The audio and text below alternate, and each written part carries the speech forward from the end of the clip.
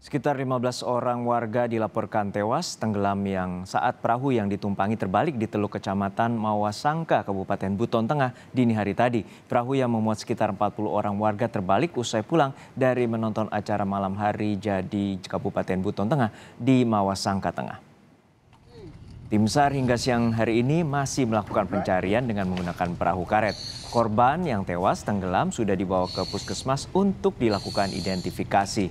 Sebelumnya puluhan warga yang berasal dari desa Lagili, Mawasangka Timur hendak pulang usai menonton hiburan malam hari jadi Kabupaten Buton Tengah di Kecamatan Mawasangka Tengah. Diduga perahu terbalik karena kelebihan muatan penumpang. Itu pakai mana kendaraan? Dapat kami sampaikan satu laporan kecelakaan kapal tenggelam di Teluk Mawasangka Tengah, Kabupaten Buton Tengah.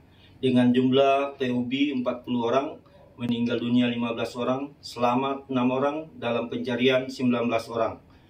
Setelah mendapat informasi tersebut, pada tanggal 24 Juli 2023 pada pukul 02.50 waktu Indonesia Tengah, Basarnas Kendari memberangkatkan satu tim rescue dari USS Muna dengan jumlah personil sebanyak empat orang.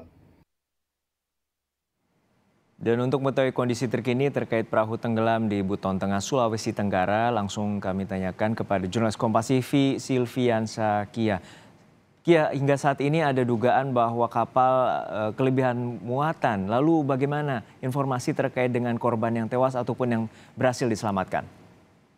Ya, baik rekan Juno, dapat saya laporkan dari Kota Kendari, Provinsi Sulawesi Tenggara terkait tentang peristiwa tenggelamnya uh, kapal yang mengakibatkan 40 orang tenggelam. Dan saat ini uh, tim rescue dari Basarnas Kota Kendari masih melakukan pencarian dan telah ditemukan 15 orang telah meninggal dunia, uh, 6 orang selamat dan 19 masih dilakukan pencarian.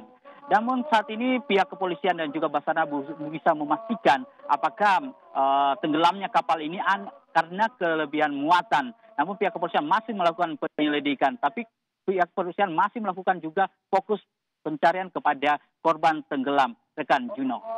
Ya, hingga saat ini bagaimana dengan proses pencarian dan sampai kapan akan dilakukan?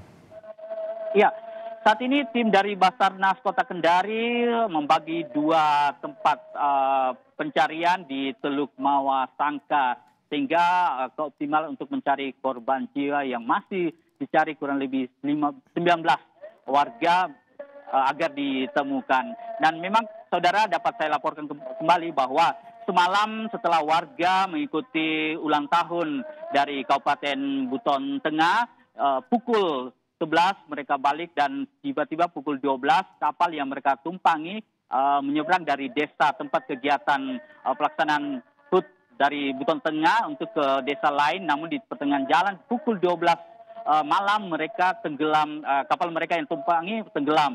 Dan dari hal tersebut uh, informasi yang didapatkan oleh Basarnas Kota Kendari pada pukul 2 malam dan Basarnas Kota Kendari dalam hal ini Basarnas uh, Ra baru tiba di lokasi kejadian itu pada pukul 5 subuh. Rekan Dino. Baik, terima kasih atas laporan lengkap Anda, jurnalis Kompas TV Silvian Sakia dari Kendari, Sulawesi Tenggara.